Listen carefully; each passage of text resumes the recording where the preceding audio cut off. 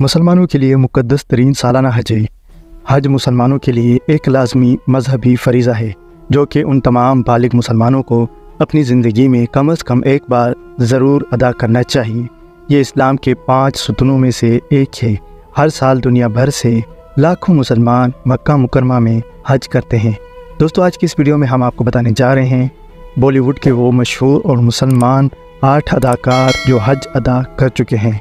Number one Shahrukh Khan. Shahrukh Khan की मक्का सफ़र की तस्वीर वायरल होने के बाद सोशल मीडिया पर टॉप ट्रेंड्स पर आ गईं।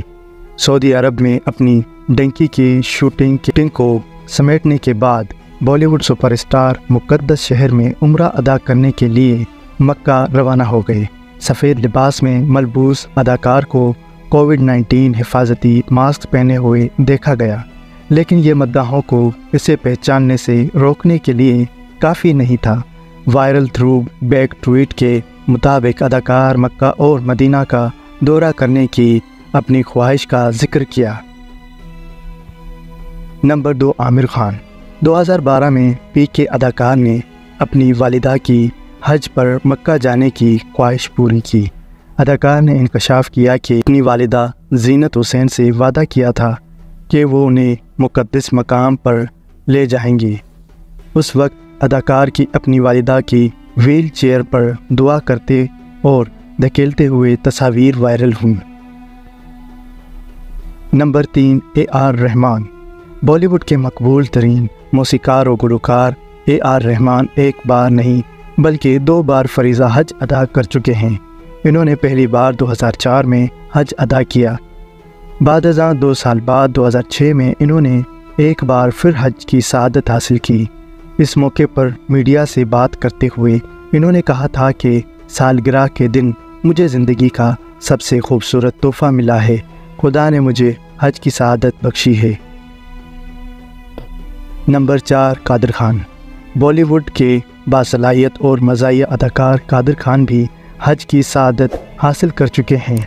कादर खान ने 2014 में अपने दोनों बेटों शाहनवाज और सरफराज के हमरा हज की शहादत हासिल की थी। नंबर पाँच, दिलीप कुमार।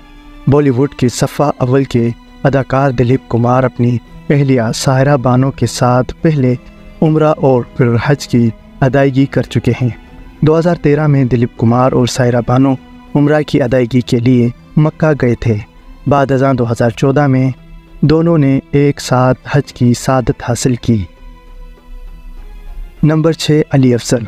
अली अफजल जिन्होंने हाल ही में सऊदी अरब में अपनी हॉलीवुड फ़िल्म कंधार की शूटिंग मुकम्मल की।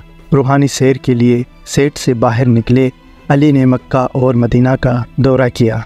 अली ने अपनी पोस्ट में मज़ीद कहा, मैं वाकई में बहुत खुशकस्मत हूँ कि मैं बहुत से तरीक़ों से सोचता हूँ। मैं कम अज़ कम सोचना पसंद करता हूँ। ये भी दोस्तों हज की सादत हासिल कर चुके हैं। नंबर सात, गोहर खान।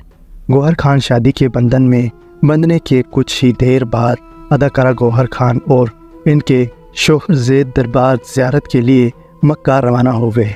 दिसंबर 2020 में शादी के बंधन में बंधने वाले इस जोड़े ने मुकदस मकाम से अपनी कई झलकियाँ शेयर की। सोशल मीडिया पर अपनी खुशी सबके साथ बांटते हुए ये भी कहा था कि अल्लाह का शुक्र है, मेरा जो ख्वाब है वो अभी पूरा हो गया। नंबर आठ सना खान। सना खान शादी के बाद शोबिस से किनारा कशी करने वाली अदाकारा अदाकारा सना खान ने अपने शोहर के साथ मुल्क को दुनिया की सैर की।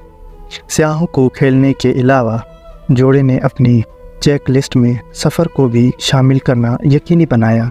ख़ास तौर पर रमज़ान के मुक़दस महीने में सना अपने सोशल मीडिया पर ले गई। दोस्तों, सना खान और इनके शोहर भी हज की शहादत हासिल कर चुके हैं। अल्लाह से दुआ है कि अल्लाह पाक हमें भी इस हज की शहादत और उम्र की शहादत हासिल करे। आमीन सुम आमीन। दोस्तों, आपने भी कमेंट्स में आकर आमीन ज़रूर लिखना है। तो दोस्तों, आज का वीडियो यहीं तक था। उम्मीद करते हैं आपको ज़रूर पसंद आएगा मज़ीद इस तरह की वीडियोस देखने के लिए रायल टीवी के साथ जुड़े रहें।